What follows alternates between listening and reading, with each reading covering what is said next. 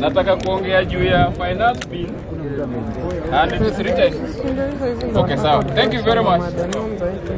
Yeah, yes, okay. I'm okay. Okay, okay, hmm? okay. Thank you very much, Mr. Speaker, for giving me this opportunity. This is Okia Doctor from Oma Bay County. And Mr. Speaker, Okia Doctor, as you know, is a Cosmo Mentees Homo sapien from Dewa constituency, Mr. Speaker. Mr. Speaker, today I want to talk about in Kiswahili, Mr. Speaker. Wacha nijaribu kwa Kiswahili because kuna mwingine hapa alilia sana ati naongea na watu wa ng'ambo sana kuliko niongea na watu wa hapa, Mr. Speaker. Mr. Speaker, number two, finance bill and will will it pass according to Gachagua? Mr. Speaker, let me tell William Samoei Ruto. Nataka kumwambia William Samoei Ruto achana na mambo ya kutupima kili.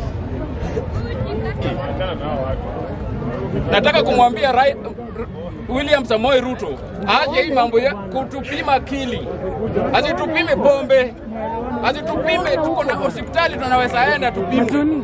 Mr. Speaker? Mr. William Ruto anakuambia ati sasa, kama wewe unafanya kazi kwa ofisi, kama wewe unafanya kazi kwa mu- muhindi na unafanya kazi kwa hizi kampuni, ati ulipe pesa ndio huyu jamaa mwenye hajalipa pesa apate apate apate apate nyumba.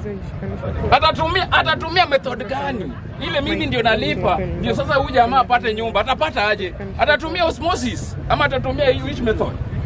Hii ni akili. Huyu jamaa anatupima akili. William Samoro Ruto anatupima akili. Sisi si Mungiki, sisi sumungi kukuja tu- tu- tudanganye tena saa hii. This is not the time for William Ruto to come here and cheat us. William Ruto atuambie vile sasa watu wata... ametuambia hii serikali, hii serikali ni kampuni.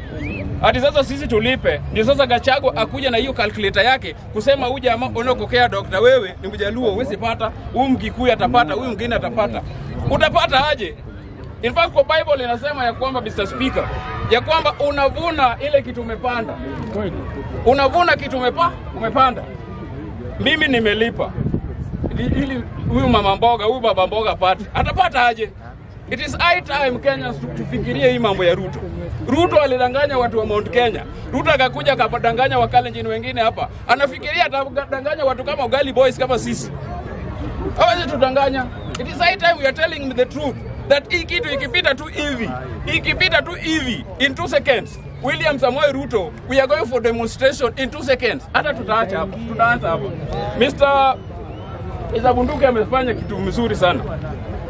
Mr. Speaker, this is a very strong bunge la wananchi. Hata saa hii tukiona saa hii watu ni wengi hapa, we are almost over 10,000.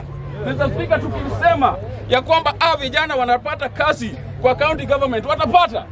We have the we have the we can have we have the force. Mr. Speaker, county government hii ya Nairobi si ya mtu.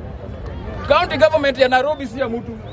Hawa vijana wame- wamemaliza shule, wamefika class 8, wamefika, wamefika form 4, wenye wako TVET, wamemaliza TVET, wanaweza pata. If we have that uh, ile kitu inaitwa nini? Kama tuko na ile structure vizuri, ile structure yako Mr. Speaker sir, tunaweza pata, tunaweza saidia vijana hapa.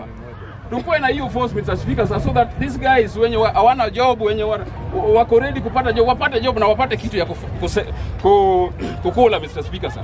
Thank you very much Mr. Speaker sir. Thank you very much. Okay, Doctor from Omabika.